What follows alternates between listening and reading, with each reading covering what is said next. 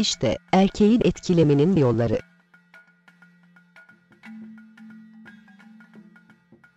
Bir erkeği etkilemek bir kadın için çok zor değildir. Fakat pek çok kadın erkeği nasıl etkileyebileceği konusunda zorlanıyor. İşte erkeği etkilemenin yolları. Bir kadınlar erkekleri etkilemek için yanlış taktikler uygularlar. En önemlisi de budur. Taktik uygulamak. Bu bir oyun değildir. Karşınızda sizden hoşlanan veya sizin hoşlandığınız biri var.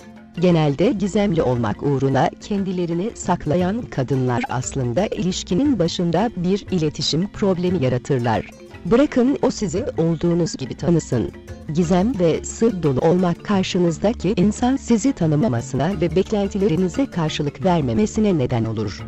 Kendinize güvenin ve bırakın sizi siz gibi tanısın. İki çekici görünmek adına dekoltesi, bol kıyafetler, aşırı makyaj kullanmaktan uzak durun. Bunları yaparken farkında olmadan kendinizi ucuz gösterebilirsiniz. Sade ve bakımlı olmaya gayret gösterin. Kendinize güvenli ve bakımlı olursanız bu yeterli olacaktır.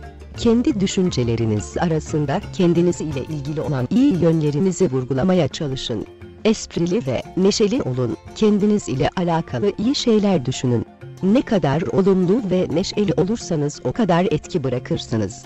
Sevdiğiniz ve yapmaktan hoşlandığınız şeyleri anlatın ve hep gülümseyin. 3 güven sorunları olan kadınlar erkekleri iterler.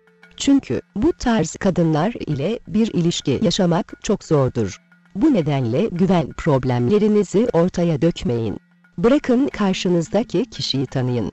Belki size güven verecek. Unutmayın her erkek aynı değildir.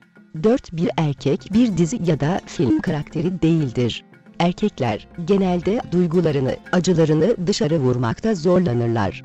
Genelde erkekler duygularını açıklanmakta zorlandıkları için sizin tarafınızdan yanlış anlaşılmasın. Onların da duyguları, acıları ve zayıflıkları var. Bazen ilişkilerde oyun oynayan kadınlar erkeğin duygularını incitebilirler.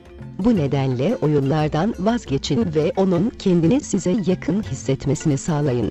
Ancak o zaman size kendini anlatacaktır.